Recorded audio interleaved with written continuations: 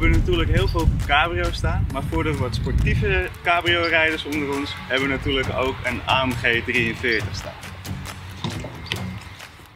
Nou, zoals je ziet is het een heel sportief interieur. Eh, uh, lederen bekleding, rode stiksels, zelfs hele mooie rode gordels en een ontzettend sportief motorgeluid.